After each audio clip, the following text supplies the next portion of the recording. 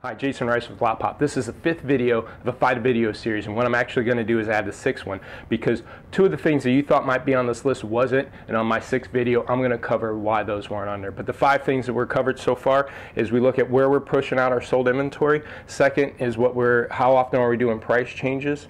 The third is we're looking at our a virtual lot walk and make sure inventory is standing tall. And the fourth was SRPs and VDPs and tracking. And, and right now, we're going to go over how quick uh, our turnaround time is.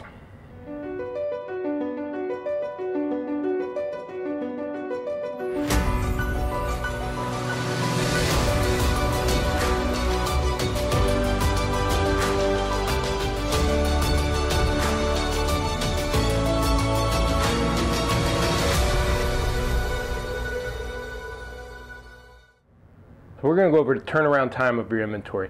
That turnaround time is so crucial to have success at selling cars fresh. Get to that 60, 70% selling in the first 30 days, which drives your gross profit.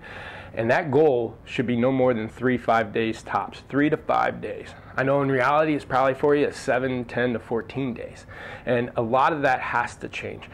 Your gross profit is driven by selling fresh inventory. And in order to do that, you need these cars photoed, price description, and online. I have dealers that have 150, 200 cars, and they're doing it within about a 72 hour turnaround time.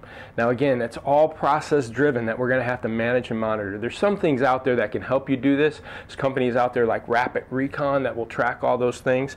There's in your vAuto, there's a life cycle summary that you can start tracking and trending those things out. Or you can do something like an Excel spreadsheet, and that's what that dealer does that does it in 72 hours. They have an internal uh, Excel spreadsheet or Google Drive doc that they have everybody have access to, and they timestamp that car going through those processes. If you can shave off two or three days of your turnaround time, and you times that by 12 times in a month or a year, that's almost extra 30 days faster these cars in a year going through. That gives you an extra month of selling every year. So if you can just shave off two or three days of that turnaround time, get cars online, photo price description better, you can increase the amount of cars you're selling fresh, which then increases your gross profit. And again, that can then also drive your volume.